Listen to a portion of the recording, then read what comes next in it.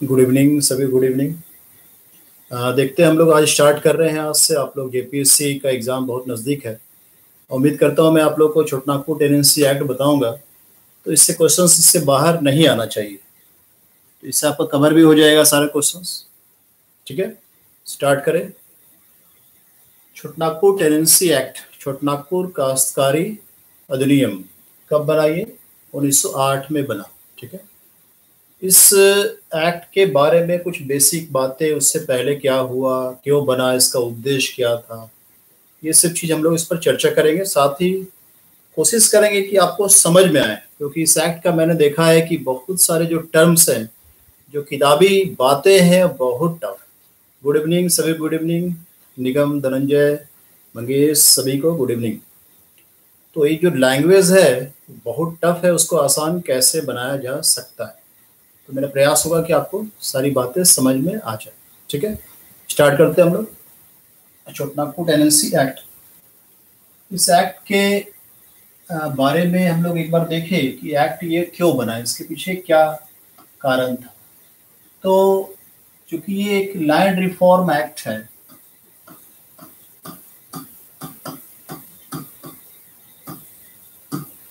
क्योंकि इस कोई भी एक्ट में हिंदी बहुत टफ होता है। और किताबों में जो हिंदी देता है वो क्या है कि इंग्लिश को पूरा का पूरा इंटरनेट से ट्रांसलेट कर देता है। तो इंटरनेट से ट्रांसलेट करने पर जो टर्म्स है, बहुत टफ हो जाते हैं वो। तो कोशिश ये करें आप सभी लोग को इंग्लिश में भी आपको समझ में आ जाए। मैं कोशिश करूँगा हिंदी थोड़ा सा रियली बहुत टफ पड़ेगा। तो यह एक भूमि सुधार कानून है, ठीक है? जो पूरी तरह भूमि से जुड़ा हुआ है। इस एक्ट के आने के पीछे क्या वजह है?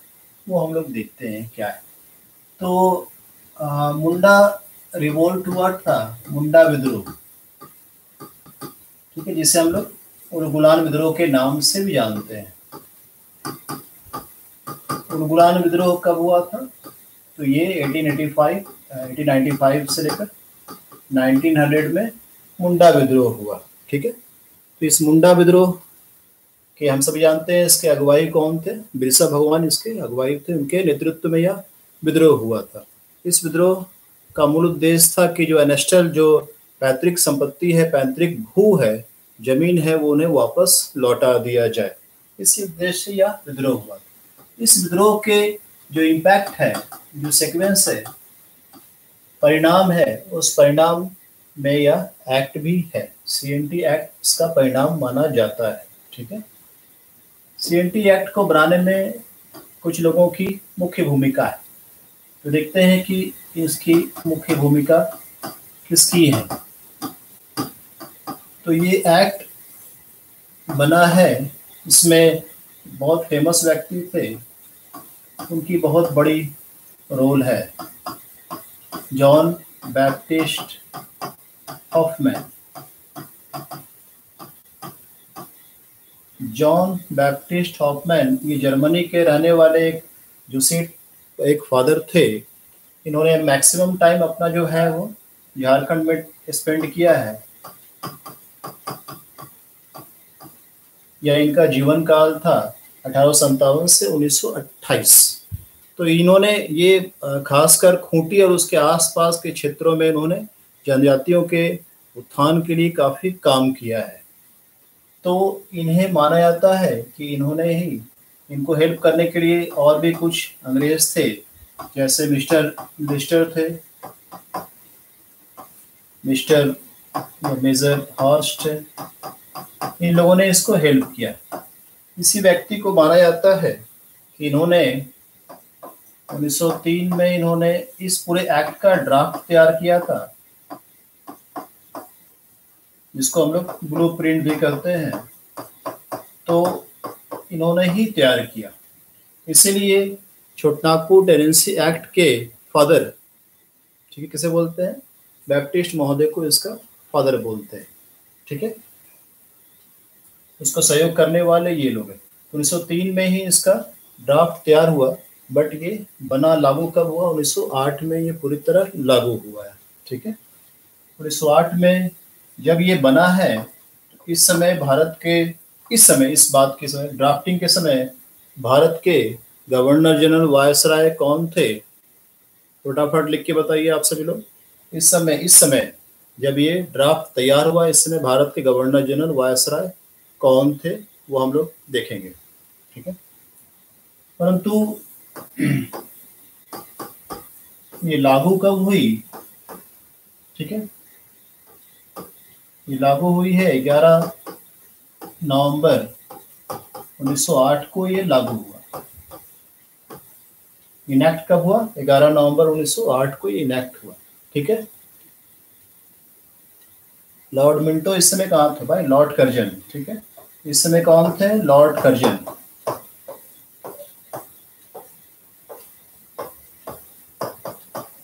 अठारह सौ निन्यानवे से 1905 लॉर्ड कर्जन का पीरियड है।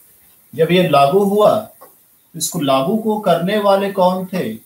तो लागू को करने वाले लॉर्ड मिंटो थे।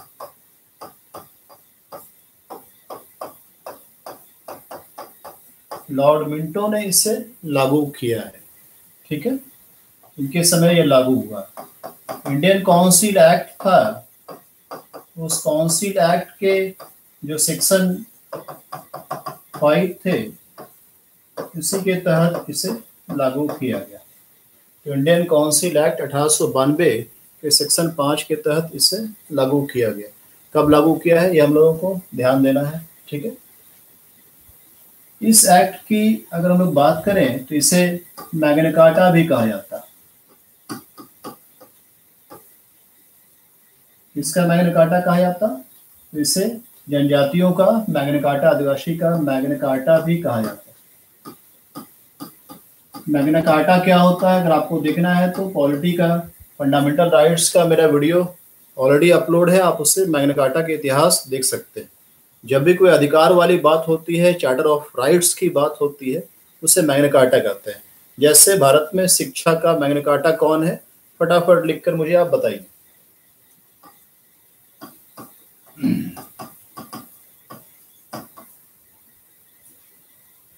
ये हम लोगों को मुख्य कुछ चीज़ें हैं फैक्चुअल जिसे ध्यान रखना है। इससे संबंधित कुछ बातें हैं। ठीक है, इतना क्लियर हुआ? इसके आगे हम लोग देखेंगे, और भी बातें हैं, इसको देखते हैं एक बार।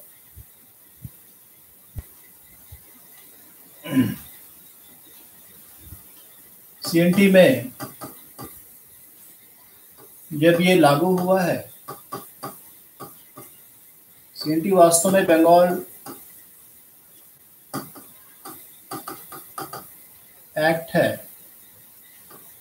सिक्स ऑफ़ नाइनटीन सिक्स के तहत ये लागू हुआ है। जब ये लागू हुआ है तो कहाँ लागू हुआ है? तो ये चार कमिश्नरी, चार प्रमंडल में लागू हुआ है। डेफिनेटली ये पांचवा प्रमंडल कौन नहीं है तो हम लोग ऑलरेडी इस पे टी पढ़ चुके हैं। तो संथाल परगना में ये लागू नहीं हुआ, क्योंकि संथाल परगना में क्या है? वो डिस्पैच वेरी गुड वो डिस्पैच को हम लोग कहते हैं शिक्षा का मैगन काटा ठीक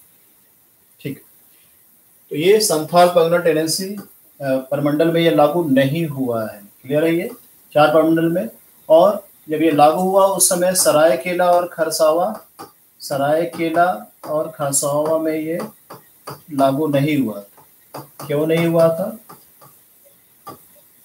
इनका जो है वो उन्नीस सौ इक्यावन में अलग से एक एक्ट बना सराय केला खरसावा अमेंडमेंट लॉज है, ये अलग से बना है। सराय केला इसमें कब लागू सराय केला में सीएनटी कब से लागू हुई? उन्नीस सौ इक्यावन में लागू हुई। वर्तमान में चार प्रमंडल और अठारह जिला में शामिल है। तो 24 जिलों में 18 जिला में ये लागू है। कितने जिलों में नहीं है? छह जिला में नहीं है, क्योंकि उन छह जिलों में S P T Santhal Pargana tenancy act लागू है। ऑलरेडी हम लोग उसको पढ़ चुके हैं, ठीक है? तो ये ध्यान रखना है इंपॉर्टेंट बात है। अब ये जो है ये मेनली कुछ और चीज़ें हैं। एक अमेंडमेंट हुआ था 66 कॉन्स्टिट्यूशनल अमेंडमेंट छियासठवां संविधान संशोधन 1990 इसके द्वारा क्या हुआ कि इसे नौवीं शेड्यूल, नौवीं अनुसूची में शामिल कर लिया गया। नौवीं अनुसूची में इस एक्ट की कई धाराओं, कई सेक्शंस को इसमें शामिल कर लिया गया, इस सूची में डाल दिया गया, ठीक है? तो नौवीं अनुसूची में क्या है? लैंड रिफॉर्म भूमि सुधार से संबंधित या किसी भी चीज़ों को अगर न्यायपालिका से बचाना है तो उसे डाल दिया जाता है कि इसमें नौवीं अनुसूची में।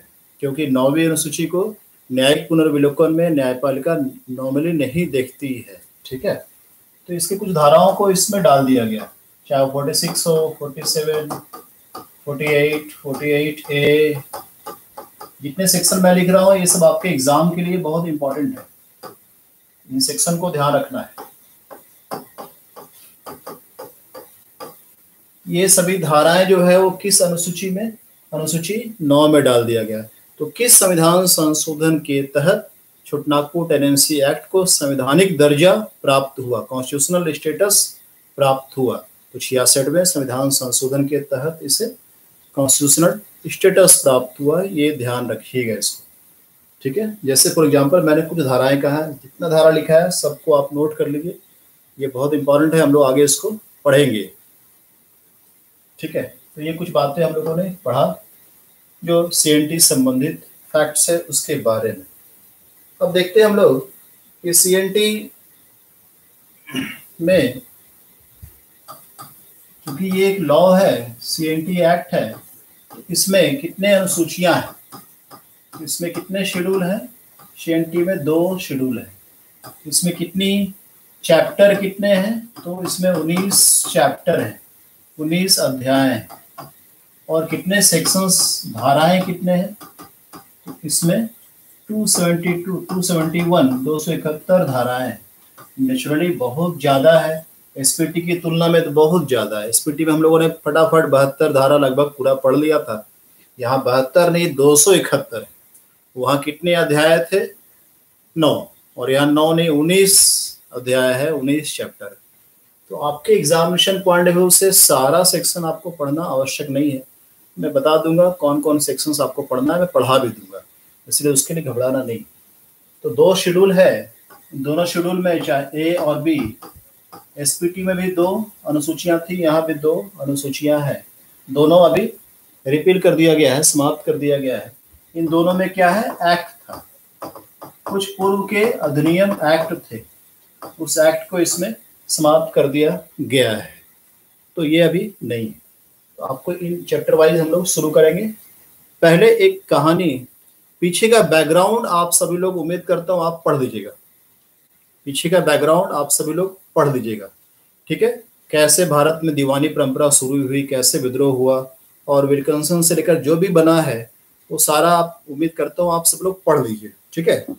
चाहे वो राखल दास हल्दर सर्वे हो, चाहे उसके बाद और कोई बातें हो। मैं कॉन्सेप्ट पर जोड़ दूँगा। स्पेशली हम लोग कॉन्टेप्ट चलिए स्टार्ट करते हैं कहानी, ताकि आपको समझ में आ जाए क्या चीज़ें हैं।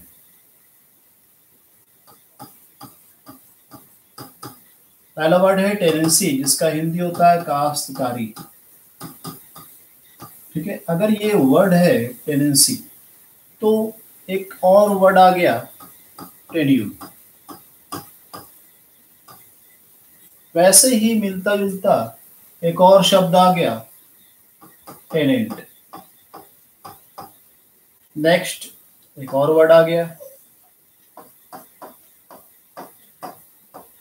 टेनवर होल्डर टेन्यूर होल्डर ये सभी जो वर्ड है, देखिए कॉमन लग रहा है, मिलता जुलता।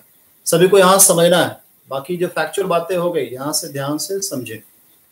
टेनेंसी टेन्यूर टेन्यूर का हिंदी हिंदी थोड़ी मुश्किल होगी। ये तो हो गया भूधारक, ठीक है? टेनेंट हो गया काश्तकार। काश्तकार, ये हो गया भू धारक ठीक है, टेन्यूर का कास्ट होगा शायद। कास्ट। मैं कर रहा हूँ, कोशिश करें इंग्लिश को समझने का बहुत आसान है भाई, सब मिला हुआ आपस में। अब इस पूरे सिस्टम को ध्यान से देखें। ठीक है? इन सभी के सेंटर में क्या है? सेंटर में है लैंड लैंड तो कोई लैंड है। माना जाए कि टेन्यूर होल्डर के पास कोई लैंड इस लैंड पर उसने एक टेनेंट एक किरादार रखा है। ठीक है? एक लैंड है या एक मकान मान ले, उस पर एक किरादार रखा है। टेन्यूर क्या हुआ? इसका वह अधिकार, इसका वह अधिकार टेन्यूर कहलाता, वह अधिकार जिसके तहत ये किसी किरदार को अपने ज़मीन या अपने मकान पर रखता है।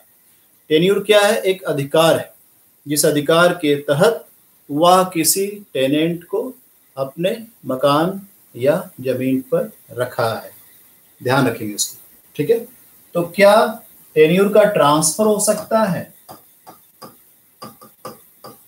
क्या ये टेन्यूर होल्डर जो है, वो अपने टेन्यूर इस अधिकार का, ज़मीन का अधिकार का ट्रांसफ़र हो सकता है, बिल्कुल हो सकता है, वो किसी और को देख सकता है। तो टेनेंट क्या हुआ? ये, अब टेनेंट का मीनिंग क्या है? टेनेंट हुआ है जो इस ज़मीन पर रेंट देता हो, जिसको हम लोग कहते हैं लगान देता हो। ठीक है? ये लगान किसको देगा? टेन्यूर होल्डर को देगा भाई हमने मकान किराया पर दिया है तो किरादार तुम हो तो किराया मुझे ना दोगे। तो किराया का जो भाड़ा है, किराया है, वो मुझे दोगे। ठीक है? तो ये किराया मुझे देता है। अब ये जो बंदा है, वो किराया, जो टैक्स जो रेवेन्यू है, जो लैंड रेवेन्यू ये किसे जाकर देगा? ठीक है? तो हम लोग जो है वो मकान का टैक्स किसके पास जमा करते हैं? तो हम लोग मना करते, जमा करते हैं सरकार के पास। सरकार के पास राज्य सरकार के पास जाकर हम लोग जमा करते हैं। इसी राज्य सरकार को अभी हम लोग कहेंगे लैंडलॉर्ड हम लोगों ने एसपीटी एक्ट में भी पढ़ा था कि बिहार लैंड रिफॉर्म एक्ट 1950 1950 के तहत लैंडलॉर्ड किसे माना गया है? तो सीओ को, अंचलाधिकारी को लैंडलॉर्ड माना गया यहाँ भी लैंडलॉर्ड कौन है? स्टेट ऑफ़ गवर्नमेंट लैंडलॉर्ड है। रेवेन्यू अधिकारी लैंडलॉर्ड है। सीओ साहब लैंडलॉर्ड है। तो यहाँ लैंडलॉर्ड सरकार को मानना है।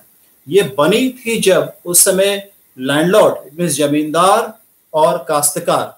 जमींदार और काश्तकारों के आपसी संबंधों को इंटरप्रेट करने के लिए ही यह कानून बनी थी कि एक तरफ़ रहेंगे जमींदार एक पक्ष और दूसरा पक्ष कौन होगा? वो काश्तकार होगा टेनेंट होगा। लेकिन अब क्या हुआ कि जमींदारी जब खत्म हो गई तो यह वर्तमान में क्या है? जमींदार के यहाँ पर हम लोग लैंडलॉर्ड के यहाँ पर सरकार वर्ड यूज़ करेंगे। लैंडलॉर्ड कौन? सरकार। ये आपको समझ में आया? तो एक टेन्यूर होल्डर है, जिसके पास कुछ क्या है? लैंड है। इस लैंड पर उसने कुछ किरादार रखा है। इस लैंड पर किरादार रखना और इससे किराया वसूल करना, इस अधिकार को टेन्यूर कहते हैं। तो टेन्यूर एक प्रकार का अधिकार है।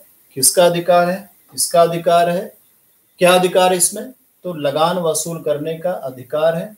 या लगान ये इसको देता है, ये किसको देगा? इसको देगा। ये लगान किसको देगा? इसको देगा। ठीक है? अब ये टेनेंट रैयत हो सकता है। रैयत हो सकता है। रैयत को टेनेंट भी कहते हैं। ठीक है? रैयत में आपको पढ़ाऊँगा आगे। अब इसको ध्यान से देखिए टेनेंसी क्या हुआ? इस पूरे सिस्टम को टेनेंसी कहते हैं।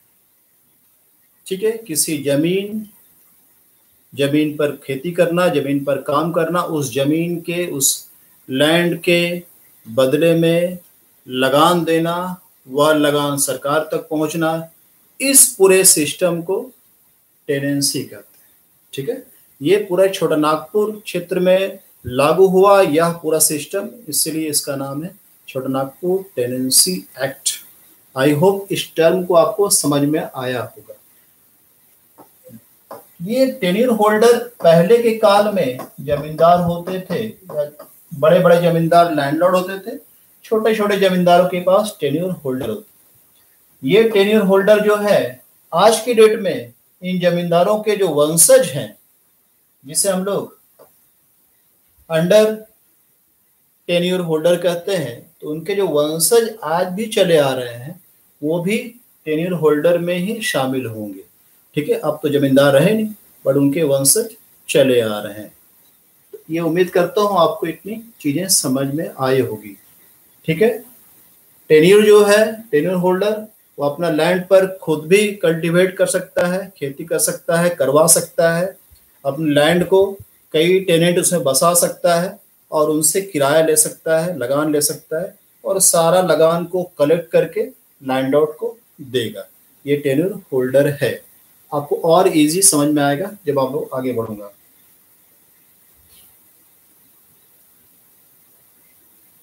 इसको देखते हैं आगे कुछ और चीज़ें, हम लोग समझने का प्रयास करते हैं। रैयत को देखें।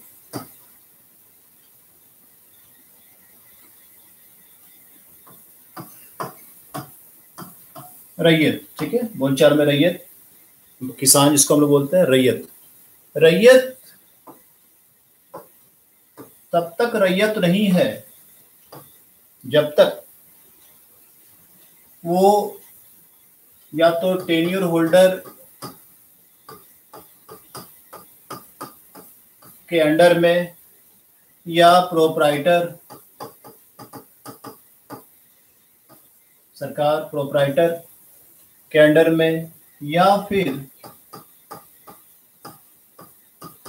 खूट कटीदार मुंडारी खूट कटीदार के अंडर में है। इसका अर्थ हुआ कोई रैयत, इनका भी रैयत हो सकता है, उसके पास प्रोपराइटर से भी ज़मीन मिला हुआ है या मुंडारी खूंट कटीदार से भी उसे ज़मीन प्राप्त हुआ है। ठीक है? अब आपके लिए ये शब्द आया खूंट खटी ये कटीदार। तो हम लोग आज जितना पढ़ेंगे, उसमें हम लोग जो लैंड पढ़ेंगे, उसमें हम लोग मुख्य रूप से पढ़ेंगे। खूट कटीदार।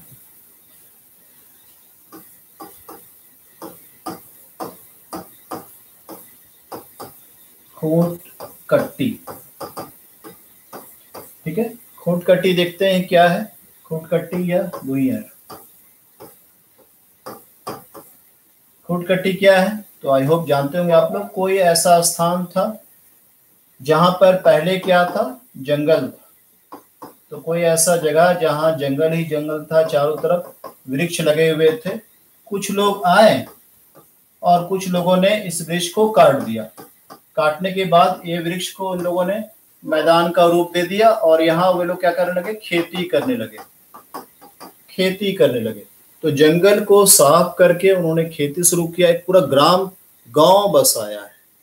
ठीक है? गाँव बसाया है। टेनेंसी तो मैंने कहा पूरा सिस्टम है ना? ये पूरी सिस्टम जो मैंने बताया था, वो टेनेंसी है। टेनेंट पर्सन व्यक्ति, किरदार। ठीक है? मैंने मकान, मेरा मकान है, मैंने मकान में किरदार रखा है, उस किरदार ने किराया दिया, मैं किराया लिया तो मैंने मकान रखा है तो मेरा अधिकार है। अधिकार में क्या है? एक मकान हुआ।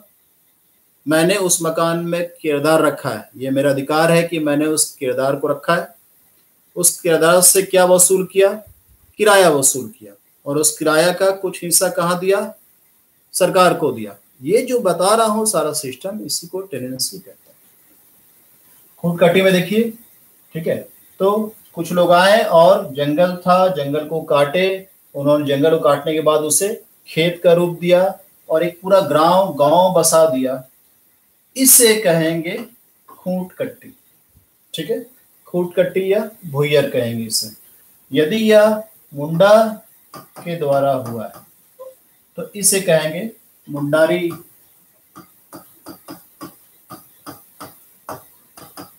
खूट कट्टी मुंडारी खूंट कट्टी ठीक है? उस, ये कह सकते हैं कि पूरे गाँव का ये प्रवर्तक स्टार्टर है, जिसने गाँव किया। हम लोगों ने एसपीटी में पढ़ा था मूल रैयत। ध्यान आ रहा होगा, मूल रैयत आपको एसपीटी में। उसी प्रकार, जिस प्रकार मूल रत में, रैयत में हम पढ़ा था कि वो लोग आए और पूरा गाँव, पूरा क्षेत्र को बसाया मूल रैयत लोगों ने, वो उस गाँव के फाउंडर थे स्टार्टर थे, प्रवर्तक थे। वैसे ही मुंडारी खूट कट्टी तो ये कौन होंगे? तो इन्होंने पूरे गाँव को बसाया ठीक है? तो इस गाँव को जिसको बसाया गया खूट कट्टी या भूयर भी कहते हैं। भूयर जो है, ये कंफ्यूजन में नहीं रहना है कि भूयर जो है, ये उड़ाव के लिए ही है। भूयर उड़ाव के साथ साथ मुंडा में भी है। रांची में ऐसे बहुत सारे ज़मीन है जो भूयरी ज़मीन है। लेकिन भूयरी ज़मीन है, लेकिन वो सिर्फ़ उराव का ज़मीन नहीं है। उराव के साथ साथ अन्य जनजातियों का भी ज़मीन है। हाँ उराव में भोयरी ज़्यादा है बट सिर्फ़ उराव गलत होगा। कि उराव के लोग आए उन्होंने जंगल काटा और गाँव बसाया, उसे भुएरी कहेंगे। खूटकट्टी और भोयरी दोनों कहते हैं। खूटकट्टी में अगर मुंडा के द्वारा गाँव बसाया गया, जंगल को काट कर तो उसे मुंडारी खूटकट्टी कहेंगे और उसके इस अधिकार को वैसे लोगों को मुंडारी खुट कट्टीदार बोलेंगे, ठीक है? और उसके पूरे सिस्टम को मुंडारी खूट कट्टी टेनेंसी बोलेंगे, काश्तकार बोलेंगे, काश्तकारी बोलेंगे। इस टर्म को ध्यान रखिएगा। इसको शॉर्टकट में हम लोग एम के के बोलेंगे। आगे से मैं पढ़ाऊँगा तो आपको एम के के वर्ड पढ़ाऊँगा। तो एम के क्या क्या हुआ? मुंडारी खूट कट्टीदार। मुंडारी खूट कटीदार एम के के हैं। ये क्लियर हो गया भूयर दोनों हो सकते हैं। मुंडारी खूट कटीदार, अभी कहाँ है? खूंटी। मेनली ये खूंटी में है, ठीक है? इसके अलावा तमाड़ के क्षेत्र में, उन सभी क्षेत्रों में ये है। उराव जो है, ये भूयर जो है, ये रांची में, रांची के वेस्टर्न पोर्सन में भूयर परंपरा भी चल रही है। तो ऐसा रैयत जो इसके अंडर में हो या इसके अंडर में हो या इसके अंडर में हो रैयत। रैयत के बारे में ये है, जब आप पढ़ेंगे सेक्शन सिक्स का क्लाउस टू तो आपको रैयत की परिभाषा समझ में आएगी। धारा छः के क्लाउस टू में रैयत के बारे में जो मैंने कहा है, ये दिया हुआ है। ठीक है? छोटनागपुर टेनेंसी एक्ट में घबराना बिल्कुल नहीं है। बहुत इजी है। कोई टफ नहीं है। ये मिसकंसेप्शन है कि ये बहुत टफ है। ऐसा कुछ नहीं है। मैं पढ़ा दूँगा आपको, आसानी से समझ में आ जाएगा। ठीक है? अब हम लोग देखते हैं, एक बार पार्ट पार्ट करके स्टार्ट करते हैं। आपको और देता समझ आएगा। सी एन टी में मैंने कहा कि 19 चैप्टर है। इस 19 चैप्टर में डेफिनेटली पहला जो चैप्टर है, जैसा हम लोगों ने एसपीटी में देखा था, ये क्या है? प्रिलिमरी है, प्रारंभिकी है, शुरुआत में है, ठीक है? ये कब लागू, कहाँ कहाँ लागू हुआ, कब लागू हुआ, इसमें कुछ डेफिनेशन कुछ परिभाषाएँ हैं, वो सब इसके अंतर्गत आता है, जो कि section one two three SPT में भी आपको ध्यान होगा, इसमें भी है। इसके अलावा चैप्टर नंबर टू नेक्स्ट जो है, ये है class of tenant class of tenant याद रखें, मैंने और लैंड अभी आपको नहीं बताया है। कुरकरी, बाकी लैंडों के बारे में जैसे जैसे वो टर्म आएँगे, वैसे वैसे मैं डील करूँगा। शुरू में ये सब डील करके हौश पौज नहीं करना है। पढ़ाई शुरू करना है, समय बहुत कम है एग्जामिनेशन में बनना चाहिए। क्लास ऑफ़ टेनेंट काश्तकारों काश्तकारों का वर्ग, ठीक है? इसके अंतर्गत हम लोग पढ़ते हैं चार से लेकर आठ। इतने आर्टिकल्स इसको ध्यान से देखिए। इसमें जो चार नंबर आर्टिकल है, वो भी यही है। क्या है? क्लास ऑफ़ टेनेंट, काश्तकारों का वर्ग। काश्तकार कौन? ठीक है जस्ट मैंने बताया, काश्तकार कौन? किराया लगान दे रहे हैं काश्तकार। काश्तकार के अंदर में क्या क्या आ रहा है, उसको हम लोग देखेंगे। काश्तकार कौन? ठीक है, इसके अंदर में tenure holder. Tenure holder exact काश्तकार नहीं है। भूधारक। भूधारक इसके अंतर्गत माना गया है। भूधारक मैंने आपको बताया कि भूधारक कौन है, जिसके पास कुछ ज़मीन है, वह उसे लगानों को वहाँ टेनेंट को वहाँ रखता है, उनसे रेवेन्यू लगान वसूल करता है, लगान कलेक्ट करता है, और वह किसको देता है? सरकार ठीक है? टेन्यूर होल्डर को यह ज़मीन कहाँ से मिलता है? प्रोपराइटर के द्वारा, सरकार के द्वारा ज़मीन प्राप्त है और ये ज़मीन या तो दूसरे टेन्यूर होल्डर ने उससे दिया है। तो भूधारक से ध्यान टेनेंट में आता है। इसके अलावा क्या है? रैयत। रैयत भी टेनेंट है। ठीक है? रैयत को तीन तरह से बांटा गया है। तीन प्रकार के रैयत माने गए। ध्यान देंगे, रैयत तब तक रैयत नहीं है जब तक वह टेन्यूर होल्डर के अंडर में हो या प्रोपराइटर के अंडर में हो या या एम के के अंडर में हो। एम के के क्या हुआ? मुंडारी फूट कटीदार के अंडर में हो। यहाँ रैयत दो प्रकार, तीन प्रकार से है। पहला क्या है? O R O R means occupancy रैयत। अब इसको आप लोग हिंदी में क्या बोलते हैं उसको? अधिभोगी रैयत। अधि अधिभोगी रैयत ठीक है? ऐसा रैयत जो आप, मैं बताऊँगा आपको डील करूँगा क्या है। दूसरा है NOR NOR means non occupancy रैयत। नॉन ऑक्यूपेंसी रैयत। और तीसरा क्या है? के क्या कोलकाता नाइट राइडर। के के आर हो गया, कोलकाता नाइट राइडर। अच्छा ऐसा नहीं है। के के आर क्या हो गया?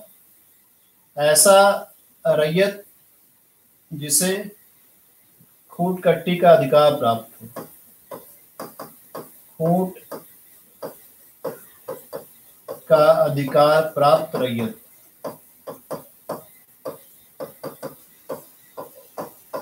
ठीक है? खूट कट्टी रैयत। के खूट कट्टी का अधिकार प्राप्त रैयत ये इसमें। इसके अलावा इसमें आता एक है अंडर रैयत। अंडर रैयत। दर रैयत। बड़ा मुश्किल है भाई। दर रैयत। आपको समझ में नहीं आया कि दर क्या है? दर दर भटकना है कि क्या करना है? वो चीज़ है। एंड लास्ट क्या है? लास्ट है एम के के मुंडारी खूट कुट्टीदार। मुंडारी खूट कट्टीदार। ठीक है? अब आपको इसको है, अब इसको समझना है। घबराना बिल्कुल नहीं है, बहुत सिंपल है। Class of tenant this is section four section four में है, क्लास ऑफ़ टेनेंट्स। अब ये हो गया आपका सेक्शन फाइव रैयत के बारे में बोल रहा हूँ तो ये है सेक्शन सिक्स के के आर सात नंबर की Jersey. Seven and this one M K K eight तो ये धारा मैंने आपको बताया। पाँच छ सात लैंड ये टेन्यूर होल्डर पर हम लोगों ने चर्चा किया, पहले ही टेन्यूर होल्डर कौन है? किस तरह से वो काम करता है? टेन्यूर होल्डर अपने टेन्यूर को ट्रांसफ़र भी कर सकता है। टेन्यूर क्या हुआ था? अपने ज़मीन पर किसी को किराए में रखना और उससे वसूल करना लगान लगान कलेक्ट करना, हो सकता है और टेन्यूर होल्डर के पास जो ज़मीन हो, बहुत ज़मीन हो, एक पचास एकड़ ज़मीन तो उस पचास एकड़ ज़मीन पर तो वो कई टेनेंट को रख सकता है, कई काश्तकारों को रख सकता है और उन सभी काश्तकारों से जो रेंट है वो कलेक्ट करेगा और कलेक्ट करके आपको दे देगा। नहीं, आपको नहीं देगा, किसको देगा? लैंडलॉर्ड के पास जमा करेगा, है ना? तो ये टेन्यूर होल्डर टेन्यूर होल्डर पहले जमींदार थे तो अब जमींदारी नहीं है तो जमींदारों के बट वंशज तो होंगे, जिसे अंडर टेन्यूर होल्डर कहते हैं। रैयत देखिए, रैयत वह है जो लगान देता है। खुद खेती करे, चाहे उसके परिवार के लोग खेती करे, चाहे वो हायर करे, लेकिन वो लगान देता है। ये रैयत, जिसे टेनेंट भी करते हैं। ऑक्यूपेंसी रैयत अधिभोगी रैयत, बड़ा सिंपल है। कोई रैयत है तो उसके पास ज़मीन है होल्डिंग है, या वह रैयत है जिसका ज़मीन पर अधिकार हो लीगल पोजीशन ध्यान रखना है, ऐसा रैयत जिस पर उसका लीगल पोजीशन हो, ये वो रैयत है जिसके नाम से रसीद कटता है। ऐसे रस, ऐसे रैयत का रसीद कटता है। ठीक है? किसी भी ज़मीन पर यदि इनका कानूनी अधिकार है लीगल पोजीशन है तो वैसे रैयत को हम लोग कहेंगे ओ आर एनओआर क्या हो गया? नॉन ऑक्यूपेंसी हिंदी जो भी हो तो ये नॉन ऑक्यूपेंसी रैयत कौन होंगे? जिनका रसीद नहीं कटता। इन्हें पट्टा पर मिला है, भाई लीज पर मिला है, कुछ दिन काम उम चलाइए, फिर आपके पास से हम लोग ले लेंगे, ठीक है? ये। अब ये देखिए के के आर क्या है? खूट कट्टी का अधिकार प्राप्त रैयत। इनमें से गाँव था, उस गाँव को बसाने वाले जो इसके फाउंडर थे, जंगल वाला काट कर फाउंडर जो थे, ठीक है? ये गाँव, ये खेत क्या कहलाया? खूट कट्टी कहलाया। इसके ये कुछ लोग फाउंडर इस फाउंडर के वंशज होंगे, जो शुरू में थे, उनके बाद उनका नेक्स्ट जनरेशन उसके बाद नेक्स्ट जनरेशन ये होंगे। बट ध्यान रखेंगे कि मुंडा में, मुंडारी में ये जो वंशज होंगे, वो क्या होंगे? मेल लाइन होंगे। पुरुष पुरुष वंशज है। महिला वंशज को ये नहीं मानते। पुरुष वंशज इसके बाद होंगे, ठीक है? क्या है रविशंकर? सर के क्लास में जितने स्टूडेंट्स होंगे एक चलिए एक एनर्जी लेवल और बढ़ जाता है। आपको समझ में आना है बाकी बातें किनारे एग्जामिनेशन हॉल में क्वेश्चन बनाना है रिज़ल्ट देना है। इसके बाद मेंस की तैयारी भी बची हुई है। फाइनली जब तक आप डिप्टी कलेक्टर या डीएसपी नहीं बनेंगे तब तक मुहिम जारी है। अगली बारी यूपीएससी की। तो आ, मेल लाइन ठीक है? तो इन्होंने खेती किया, खूट कट्टी और ये मेल लाइन। अब मान ले इस फाउंडर परिवार, इस फाउंडर परिवार, खूट का मीनिंग क्या होता है फैमिली परिवार या वंश?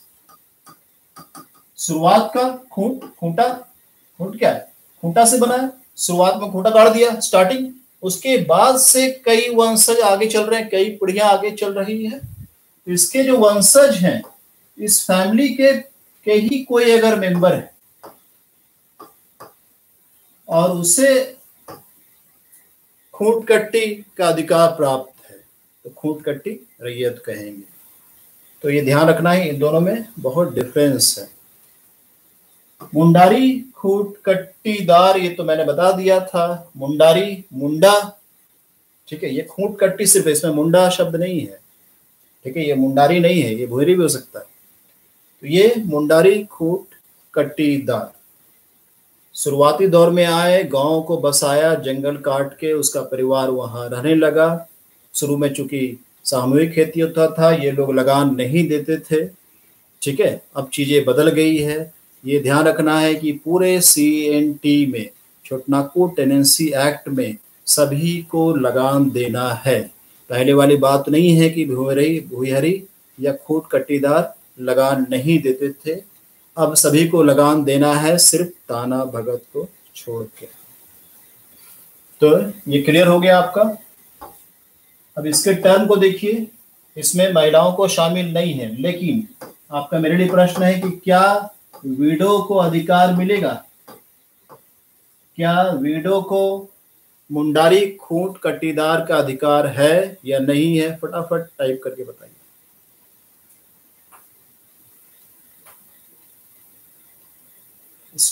कहीं कोई कंफ्यूजन इसमें, कुछ भी तो आपको बताना है, ठीक है? ओआर क्या है? मैं और आगे डील करूँगा इसको, परेशान नहीं होना है, ठीक है? नॉर नॉन ऑक्यूपेंसी रैयत क्या है? के के आर क्या है? फटाफट के के आर तो याद ही रहेगा, शाहरुख खान के नाम से। हम्म वीडियो को नहीं हाँ नहीं हाँ नहीं हाँ। तो कई जजमेंट आए हैं इस पर। उन सभी जजमेंटों के आधार पर वीडो के अधिकार को उस परिवार का जो सबसे सीनियर मोस्ट रहेगा, वो इनकार नहीं कर सकता है उसके अधिकार को। ध्यान रखिएगा तो वीडो का भी पावर है। अब इसके आगे हम लोग इसको बढ़ते हैं। जस्ट इसके बाद का जो पार्ट है,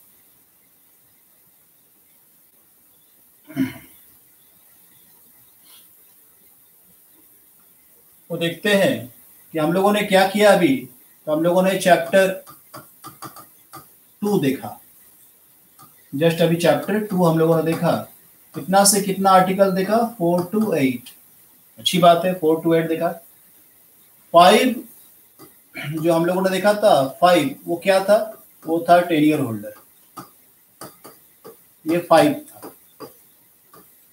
भूधारक फाइव वेरी गुड जो फाइव है ये अगला चैप्टर है चैप्टर थ्री वापस शुरू चलेंगे हम लोग।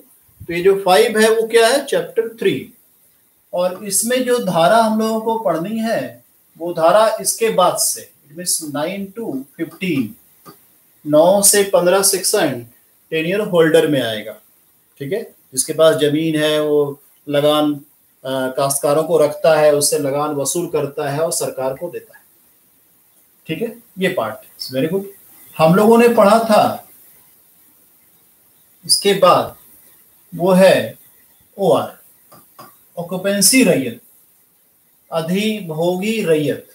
ठीक है? तो अधिभोगी रैयत हम लोगों ने पढ़ा तो ये आपका चैप्टर फोर आएगा।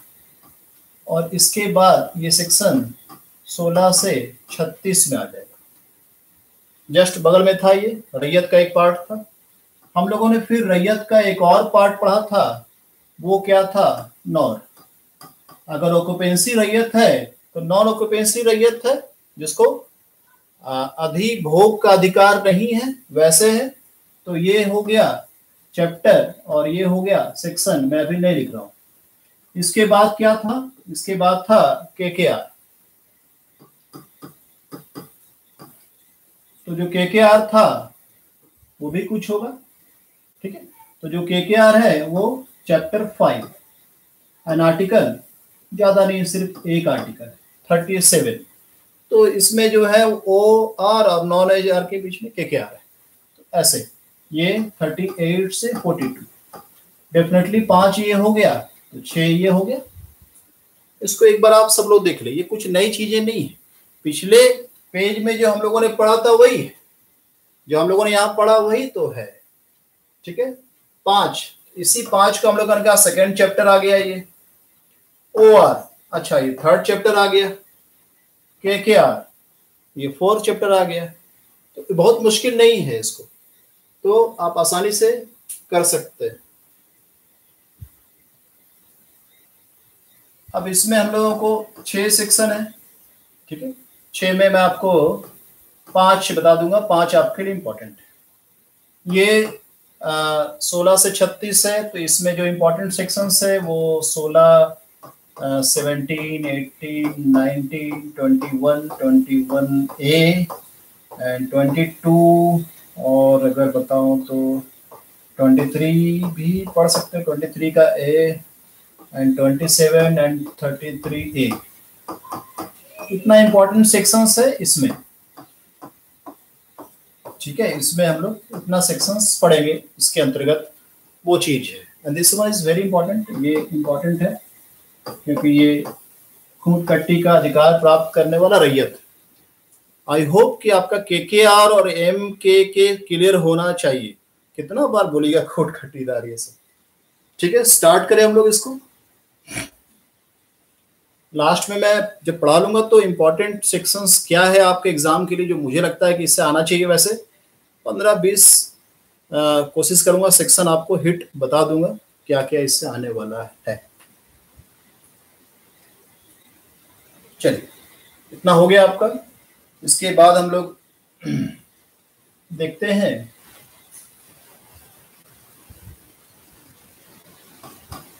टेन्योर होल्डर को। समझने का प्रयास कीजिए, रटना नहीं है तो बहुत मुश्किल होगी।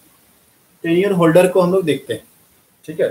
तो आ, एक फॉर्मूला है देखें मैं लगा मैं आप लोग के लिए तो कुछ कुछ करते ही रहता हूँ।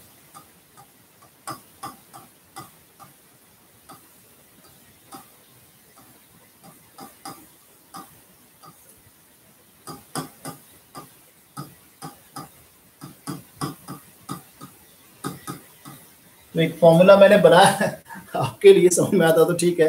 मैं बताऊँगा आपका। लगा, भोइनी, इंक, विभा, निशा। ठीक है? ध्यान रखिए, कैसे है? मैं आपको अभी इसको हम लोग डील करेंगे कैसे छह में से पाँच सेक्शन अब देखते हैं टेन्योर होल्डर कौन है? भाई, बता चुका मैं टेन्योर होल्डर है, जिसके पास ज़मीन है, जिसको ज़मीन कहाँ से मिला है तो वो प्रोपराइटर के अंडर में हो, या किसी दूसरे टेन्योर होल्डर से ज़मीन लिया हो। ये उस ज़मीन को खुद भी रखता है, कुछ ज़मीन पर वो कई काश्तकारों को रखता है और उन काश्तकारों से लगान वसूल करता है, कलेक्ट करता है और वह लगान वह मुझे दे देता है। अच्छा मुझे नहीं देता है। लैंडलॉर्ड को दे देता है। लैंडलॉर्ड कौन है? मैं बता चुका हूँ आपको। अब ये टेन्यूर होल्डर है, ठीक है? तो क्या टेन्यूर होल्डर कहता है, लगान टेन्यूर होल्डर के लगान में वृद्धि मत कीजिए। लगान में वृद्धि नहीं। ना टेन्यूर होल्डर के लगा, लगान में वृद्धि नहीं। कैसे भाई? सत्रह सौ तिरानवे में जो बंदोबस्त लॉर्ड कॉर्नवालिस के समय शुरू हुआ था, बंगाल, बिहार, उड़ीसा तो बंदोबस्त सत्रह सौ तिरानवे में जो बंदोबस्त हुआ है, जमींदारी बंदोबस्त, उस बंदोबस्त के बाद यदि लगान में वृद्धि नहीं हुई है तो इसके लगान में वृद्धि नहीं हो सकती तो बड़ा प्रॉब्लम है। बड़ा फंस गया लोग कि टेन्यूर होल्डर के लगान में, भू धारक के लगान में वृद्धि नहीं होगा? तो कैसे काम चलेगा? तो 1920 में सीएनटी एक्ट में संशोधन किया गया और इसमें एक पॉइंट ऐड कर दिया गया कि नहीं नहीं, लगान होना चाहिए। तो डीसी साहब इसमें लगान में वृद्धि कर सकते हैं, ठीक है? लगान में वृद्धि, यदि लगान के अंतर्गत ये आ रहा है तो लगान में वृद्धि इसमें की जा सकती है। बट यदि 2021 में इसके लगान में वृद्धि हुई है तो अगला लगान में वृद्धि कब होगा? आफ्टर 15 इयर्स पंद्रह वर्षों के बाद इसके लगान में वृद्धि होगा। इट मीन्स छत्तीस, है ना? तो पंद्रह वर्षों का गैप होना चाहिए। तो is very very important fifteen years को आप ध्यान रखिएगा। तो ये लगान में वृद्धि सेक्शन नाइन में आ जाएगा। और इसे ऐड किया गया सेक्शन नाइन ए किसके तहत? C N T amendment nineteen twenty ठीक है? के तहत नाइन ए जोड़ा गया कि लगान वृद्धि होगा। अब अगर हम लोग फिफ्टीन ईयर्स को देखिए तो यही मुझे लगता है कि आपका सेम सेक्शन सिक्सटी टू भी है। काश्तकारों के लगान में वृद्धि enhancement in rent of tenant काश्तकारों के लगान में वृद्धि सेक्शन 62 में भी है। ध्यान रखेंगे इसको, एक साथ, एक के साथ एक फ्री, और में चलता है मानसून धमाका। आगे आते हैं भूई। भूई मतलब? भूहरी भूयर स्पेशली भूयर के लिए जो है, वो जब सर्वे किया गया, रखल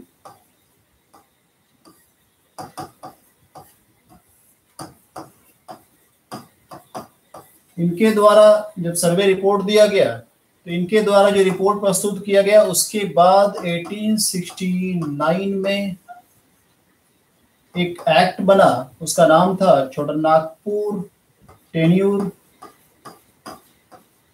act Chota Nagpur tenure act ठीक है? टेन्यूर का मुझे लगता है क्या भू तृतीय कुछ होता है। तो टेन्यूर मैंने कहा वह अधिकार।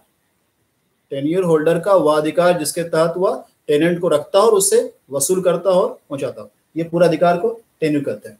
छोटनागपुर टेन्यूर एक्ट 1869 ठीक है? किसके रिपोर्ट पर किसके सर्वे के बाद? राखल दास हल्दर के सपोर्ट के बाद। इसलिए हल्दर, इसे हल्दर सर्वे भी कहते हैं। वेरी वेरी इंपॉर्टेंट ध्यान रखिएगा इसको। इसमें मुख्य रूप से किसको? भूयर तो यदि कोई भूयर या उस भूयर का परिवार छोटानागपुर टेनेंसी टेन्यूर एक्ट 1869 के तहत रजिस्टर्ड है। उसमें उसका एंट्री है। इसके बाद कोई भूयर नहीं कर सकता अपने आप को कि मैं उसका, मेरा खातियानी से, खातियानी तो उस समय ही बना है। ठीक है? झारखंड में लास्ट खातियानी कब बना? 1932 में। खातियान को हम क्या बोलते हैं? रिकॉर्ड ऑफ़ राइट्स तो भूयर तो किसी भी भूयर, ऐसा भूयर जो छोटनागपुर टेन्यूर एक्ट 1869 के तहत उसका नाम उसके अंतर्गत है, वैसे भूयर पर लगान में वृद्धि रेंट इन्हेंसमेंट नहीं की जा सकती। रेंट इन्हेंसमेंट नहीं की जा सकती।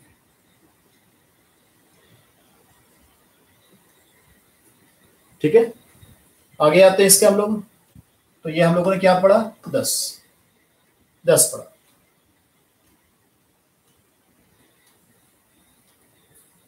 अब इसके बाद है कि क्या टेन्यूर होल्डर अपने टेन्यूर अपने उस अधिकार का ट्रांसफ़र कर सकता है? जिसको ट्रांसफ़र करेगा तो क्या अपने इस अधिकार को जब ट्रांसफ़र करेगा तो उसे लैंडलॉर्ड के पास उसका रजिस्ट्रेशन कराना पड़ेगा, उससे निबंधन कराना पड़ेगा? जी, उससे निबंधन कराना पड़ेगा। इसको ध्यान देना है हम लोगों को। ठीक है?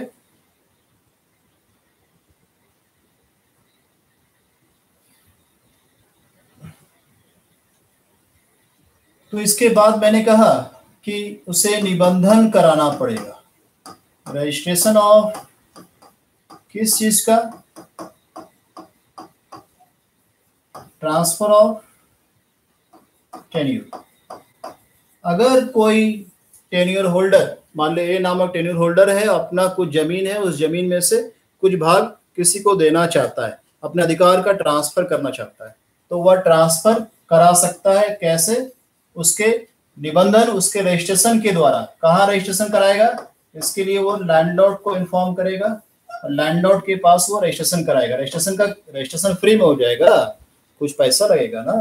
तो रजिस्ट्रेशन के लिए दो प्रतिशत एनुअल जो लगान है, उसका दो प्रतिशत, बट ये एक रुपया से सौ रुपया। इससे अधिक नहीं। इसको ध्यान रखिएगा।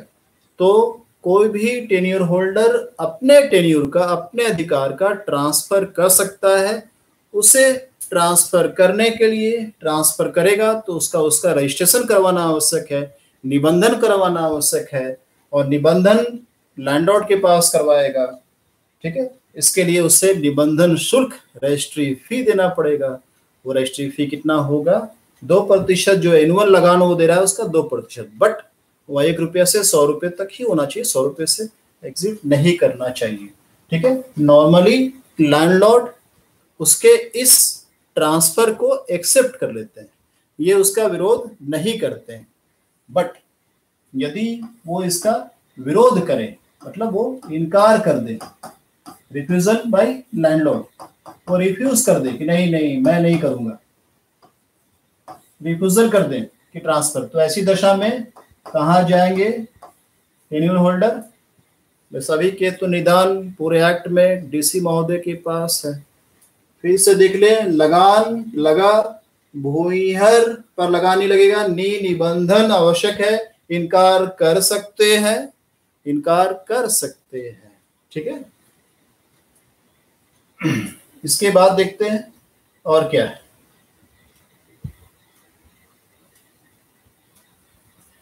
इसके बाद मान लीजिए कि टेन्यूर होल्डर है। ये टेन्यूर होल्डर भूधारक जो है, इसके पास एक बड़ा लैंड इस लैंड का ये चाहता है कि कुछ भाग वो किसी को बेच दे दे दे कॉन्ट्रैक्ट पे दे दे, पट्टा पे दे दे, जैसा भी। तो ये इस लैंड का ये वाला भाग जो है वो देना चाहता है। इसका अर्थ हुआ इसने क्या दे दिया अपना? अधिकार दे दिया टेन्यूर दे दिया। टेन्यूर को डिवाइड कर दिया। डिवीज़न ऑफ़ टेन्यूर टेन्यूर का ये विभाजन अपने उस अधिकार को बांट दिया। और ये वाला पार्ट दे दिया किसी और को। मान लो ये रामू को दे दिया। रामू को ये पार्ट दे दिया। ठीक है? तो ये टेन्यूर को डिवाइड कर दिया।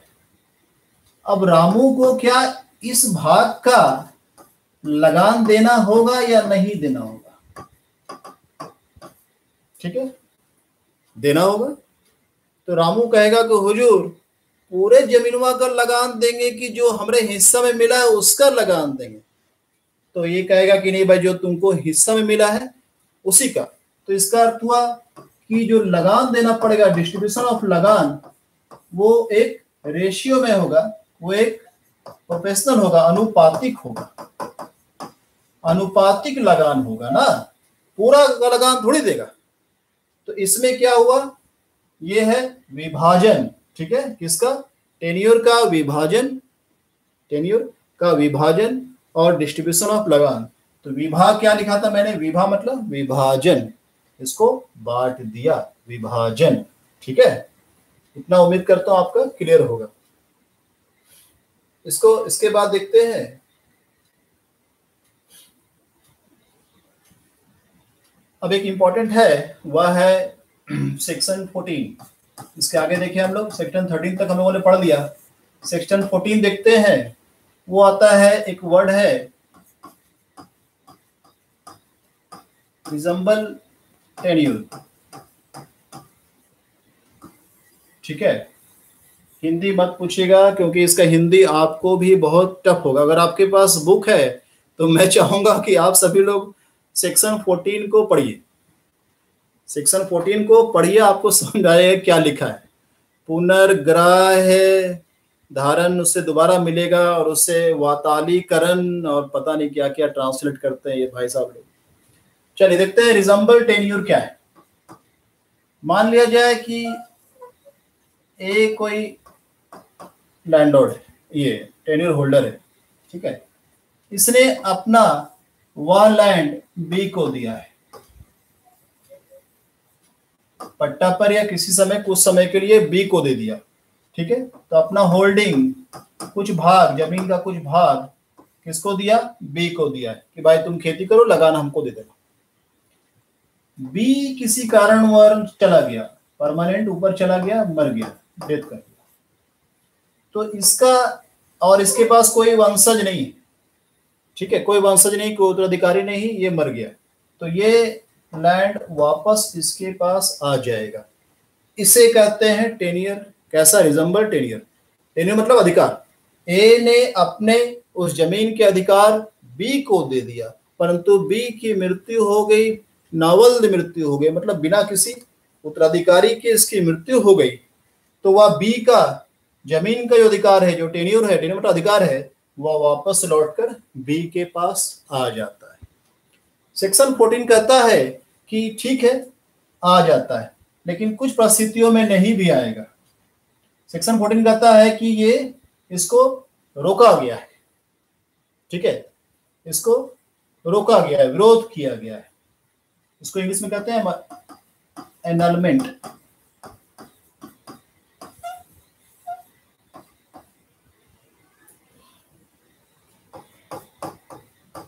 इसको रोका गया है, निषेध किया गया है प्रोविट किया गया है। कैसे? तो अगर बी जब इस ज़मीन का काम शुरू किया और बी ने इस ज़मीन पर, मान लीजिए कि इस ज़मीन पर जो है वो डैम बना दिया, इस ज़मीन कुछ समय डैम बन गया, तालाब बन गया, नहर बन गया, इस ज़मीन के कुछ हिस्से को ये चला गया सैनिक छावनी में। सैनिक छावनी। केंद्र सरकार के अधीन आ गया, सैनिक छावनी के अंतर्गत कुछ सरकारी ज़मीन। सैनिक छावनी को बोलते हैं कंटेनमेंट केसर हिंद। केसर हिंद वह ज़मीन है, वह लैंड है, जो केंद्र सरकार सैनिकों के लिए इस्तेमाल करती है। सैनिक केसर हिंद बोलते हैं इसको। यहाँ सैनिक छावनी के लिए बन गया। या यहाँ पर खनन। कुछ माइनिंग शुरू हो गया। या यहाँ पर एक बिल्डिंग का निर्माण हो गया। सरकारी बिल्डिंग या ग्राम प्रमुख का बिल्डिंग का निर्माण हो गया। ठीक है? या कोई उद्योग के लिए बिल्डिंग बन गया, कुटर उद्योग के लिए बिल्डिंग बन गया। यदि ऑलरेडी ये सब हो गया है वहाँ वहाँ कोई प्रार्थना घर बन गया, ठीक है? जहर थान याद होगा वहाँ पर? जहर थान, वैसे यहाँ कोई प्रार्थना घर बन गया। कब्रिस्तान हो गया, शमशान हो गया। यदि इस लैंड पर ये सभी सार्वजनिक चीज़ें बन गई, जिसका इस्तेमाल पब्लिक कर रही है, या कुछ खास संदर्भ में सरकार कर रही है तो ऐसी दशा में इसका वापस ट्रांसफ़र इनके पास नहीं होगा। ठीक है? इसको रोका गया है। यही मैंने आपको बताया फोर्टीन में। ठीक है? तो ये पूरा खत्म हो गया। तो एक बार हम लोग देख लें, फटाफट टेनियर होल्डर टेनियर होल्डर भूधारक। भूधारक में क्या हम लोगों ने देखा?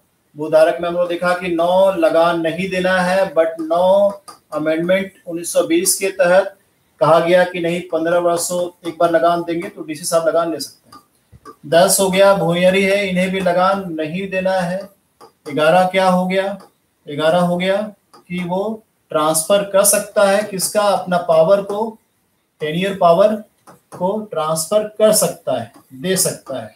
किसी को भी ए लैंड टेन्यूर बी को दे सकता है। लेकिन क्या इसके लिए रजिस्ट्रेशन आवश्यक है? जी, इसके लिए रजिस्ट्रेशन आवश्यक है। रजिस्ट्रेशन का फ़ी क्या होगा? मैं आपको बता चुका हूँ। क्या रजिस्ट्रेशन से इनकार कर सकते हैं? जी, इनकार कर सकते हैं। कौन इनकार कर सकते हैं? लैंडलॉर्ड भाई लैंडलॉर्ड कौन है? रेवेन्यू ऑफिसर है। हम लोग जानते हैं सीओ साहब यानी रेवेन्यू ऑफिसर इनकार कर सकते हैं। इनकार होने पर कहा जाएँगे? डीसी साहब के पास जाएँगे। थर्ड लैंड बड़ा सा है, इसका टेन्यूर कुछ भाग अधिकार को बांट दिया। और जो लगान लेगा, जिसको दिया, वो लगान पूरे का नहीं देगा, कुछ खास जगह का देगा। इसके बाद हमने कहा रिजम्बल टेन्यूर ठीक है? रिजम्बल टेन्यूर समझ में आया? टेन्यूर दो प्रकार का, एक परमानेंट टेन्यूर एक रिजम्बल टेन्यूर परमानेंट मतलब अस्थायी रूप से उसके पास है, या उसके वंशज है तो उसके पास है, या उसके वंशज उसके पास है। अस्थायी रूप से और कोई सीमा नहीं है कि वह टेन्यूर वह ज़मीन, वह उसका अधिकार किसी भूधारक के पास कब तक है, इसकी कोई सीमा नहीं है उससे कहते हैं अस्थायी रूप से परमानेंट अधिकार परमानेंट टेन्यूर और एक कहा मैंने कहा रिजम्बल पुनः ग्राह हिंदी शायद ये होगा पुनः ग्राह पुनः वापस अपने पास आने का ये चीज़ है। चलिए फॉर्मूला लगा भूई नी, इंक। इंक लगाना है, किसको किसको लगाना है? विभा को और निशा को। इंक लगाना है। चलिए ठीक है। पंद्रह नंबर जो है, बहुत इंपॉर्टेंट नहीं है। इसके बाद का जो पॉइंट है, वो है हम लोगों का अगला है। इसके बाद हम लोग बात कर रहे हैं ओसी की ओ आर की। ओ आर क्या है? ऑक्यूपेंसी रैयत, ठीक है? डेफिनेटली 16 से लेकर 36 मैंने अभी लिखा था, कुछ इंपॉर्टेंट सेक्शन से जो हम लोग इसमें पढ़ना है। 16 से लेकर 36 तक इसमें पढ़ना O R very fast question is what is O R O R क्या है? ऑक्यूपेंसी रैयत। अभी क्या बोलता है? अधिभोगी रैयत। कोशिश, मुझे तो मन करता है कि सीएनटी का हिंदी अनुवाद मैं कर दूँ आसान शब्दों में। बताइए लिखता है, काल अवधि का अवसान। अरे, सीधा लिखता, समय समय सीमा की समाप्ति। काल अवधि का अवसान। आई होप कि 14 सेक्शन 14 आप पढ़े होंगे तो 40 सेक्शन में हिंदी आपको समझ में आ गया वातालीकरण। तो वातालीकरण हो रहा इनलमेंट उसको रोकना, है ना? उस समय तक उसको प्रतिषेधित कर ओ आर क्या हो गया? व्हाट इज़ ओ आर क्या ये रैयत के प्रकार हैं? जी, ये रैयत के प्रकार हैं। कहाँ पढ़ा था हम लोगों ने? तो रैयत के तीन प्रकार थे, उसमें हम लोगों ने पढ़ा था ओ आर के बारे में, ठीक है?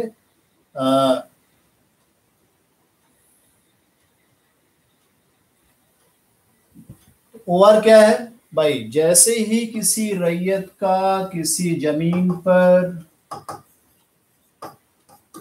लीगल राइट होता है, इट मीन सरकार के पंजी में उसका दर्ज है, नाम खतियान में उसका नाम आ गया है या रसीद दे रहा है तो जैसे ही किसी का लीगल पोजीशन होता है,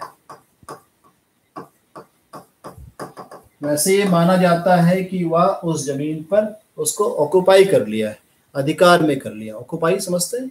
उसी से बना हुआ। बट उसका लीगल पोजीशन कानूनी रूप से उसका उसमें दखल होना चाहिए। और इसका रसीद कटता है, उसे ओवर कहते हैं। ठीक है? इस पूरे चैप्टर में आपको बड़ा इंटरेस्टिंग ईयर है, बारह वर्ष बारह वर्ष बारह वर्ष, है ना? तो ये ट्वेल्व ट्वेल्व ईयर्स का बहुत ज़बरदस्त इसमें चीज़ें हैं। तो हम लोग इसको कोशिश करें, कल मैं पढ़ा दूँ आपको। ऑलरेडी एक घंटा से अधिक हो गया है। कल इसको मैं पढ़ा देता हूँ। एक बार तेज़ी से हम लोग रिकैप कर लें। तो हम लोगों ने क्या पढ़ा? सी एन टी एक्ट 1908 जो नागपुर टेनेंसी एक्ट के बारे में। ये बंगाल बंगाल एक्ट छः जो था 1908 का छः उसके तहत ये बनाया है। और ये किसने बनाया? लॉर्ड लॉर्ड मिंटो सेकेंड के समय ये बना हुआ है। उन्होंने इंडियन काउंसिल एक्ट जो था, उसके सेक्शन फाइव के तहत इसे लागू किया, अधिनियमित किया इनेक्ट किया। इसे मैग्नाकाटा भी कहते हैं। इसका जो फादर है, जिसने बनाया है, उसका नाम था हॉफमैन हॉफमैन के बारे में मैंने आपको कुछ जानकारियाँ दी हैं, ठीक है? उसको सहयोग करने वाले लिस्टर थे और हॉस्ट थे। इस एक्ट को बनाने के पीछे जो मेन विद्रोह है, वह उर्गुलान विद्रोह है। उस, इसे उस विद्रोह का परिणाम भी माना जाता है। कहाँ लागू हुआ, कितने जिलों में लागू हुआ, कितने परमंडल में लागू हुआ है, ये देखा गया। इसका मुख्य उद्देश्य क्या है? इसका मुख्य उद्देश्य है लैंडलॉर्ड।